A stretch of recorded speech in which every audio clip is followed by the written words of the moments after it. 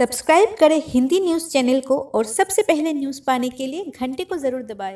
ये बिल्कुल फ्री है। मारुति सुजुकी ने भारत में इलेक्ट्रिक वाहन के लिए फ़ील्ड टेस्टिंग को दी हरी झंडी। भारत में 2020 तक इलेक्ट्रिक वाहनों की शुरुआत की घोषणा के बाद प्रमुख वाहन निर्माता कंपनी मारुति सुजुकी ने इलेक्ट्रिक वाहनों के लिए फ़ील्ड टेस्टिंग को हरी झंडी दे दी है।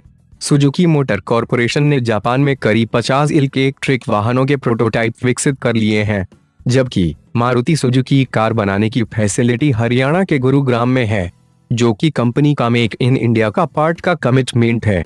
इलेक्ट्रिक वाहनों को हरी झंडी गुरुग्राम फैसिलिटी के मारुति सुजुकी के सीनियर कार्यकारी अधिकारी, इंजीनियरिंग सी वी रमन दी दी है।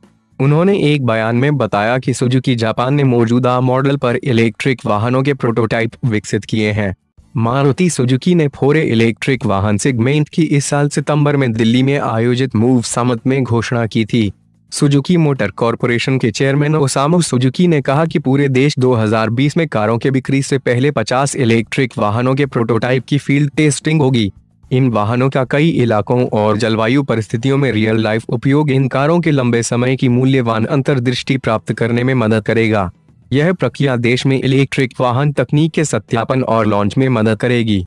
मारुति सुजुक ने यह भी कहा कि यह टेस्टिंग ग्राहकों के दृष्टिकोण आधार पर महत्वपूर्ण जानकारी को प्राप्त करने में मदद करेगा, जो भारतीय ग्राहकों के लिए विश्वसनीय और उपयुक्त इलेक्ट्रिक वाहन बनाने में मदद करेगा।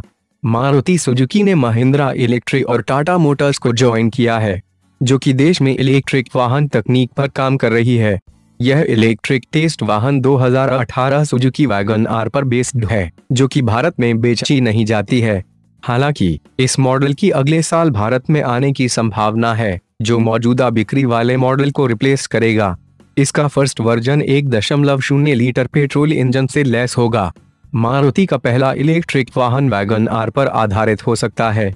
दोस्तों, आपको यह कार कैसी लगी? कमेंट में हमें ज़रूर बताएँ। किसी के साथ साथ हमें सब्सक्राइब भी करें ताकि इसी तरह की मज़ेदार खबरें पढ़ सकें।